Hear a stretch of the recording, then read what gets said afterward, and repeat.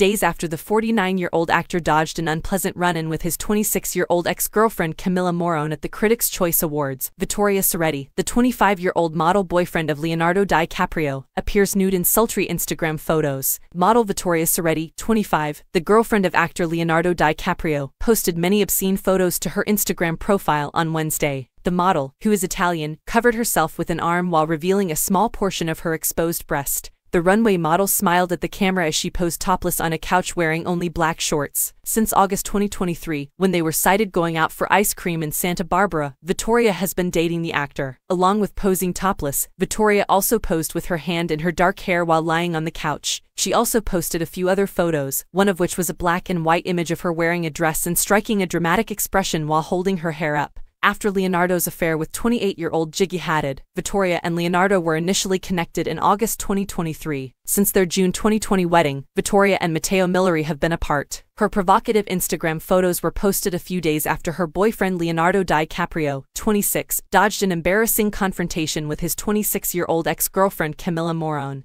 Camilla and Leonardo dated for five years until breaking up in 2022, a few months after Camilla turned 25. Their breakup validated a habit Leonardo had developed. He never goes out with women older than 25. But he started dating Gigi, who was 28 at the time, shortly after.